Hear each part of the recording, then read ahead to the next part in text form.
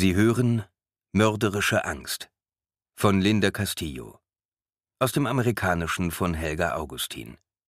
Gelesen von Tanja Gege. Ein Hörbuch des Argon Verlags.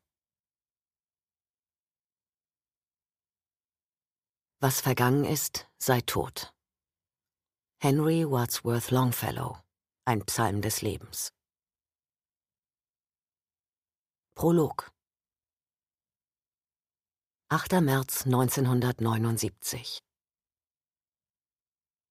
Er träumte von druckluftbetriebenen Schleifmaschinen, die über feinstes Wurzelholz glitten, und von Schwalbenschwanzzinkungen mit Zapfen und Schlitzen, die so präzise herausgestanzt waren, dass man sie kaum sah.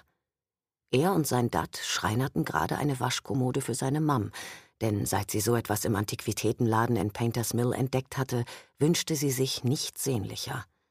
Er freute sich jetzt schon auf ihr Gesicht, wenn sie ihr die Kommode präsentierten. Billy Hochstettler schreckte aus dem Schlaf hoch.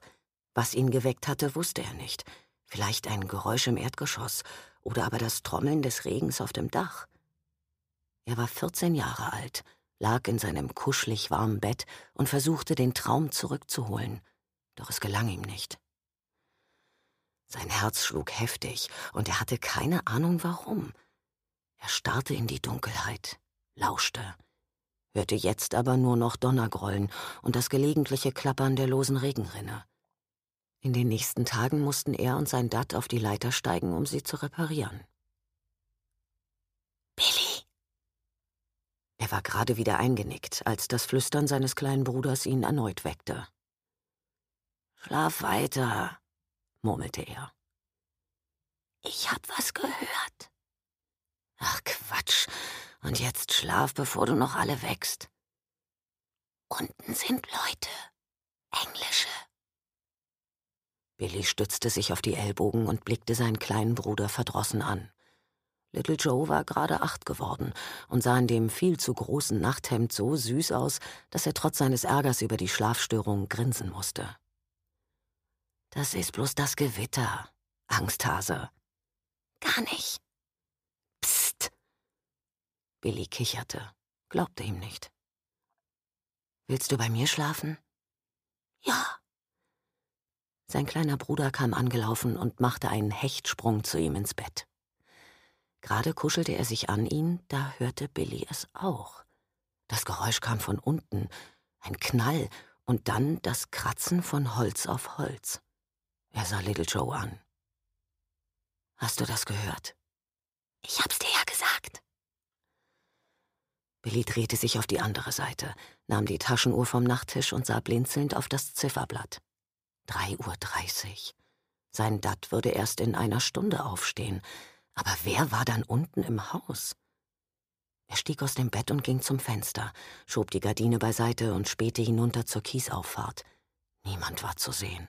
Auch kein Buggy oder Auto, kein Laternenlicht in der Scheune, und die Werkstatt und Verkaufsräume waren ebenfalls dunkel. Billy nahm die Hose vom Stuhl und schlüpfte hinein. Ein schwaches Murmeln drang jetzt durch die Lüftungsklappe über der Fußleiste.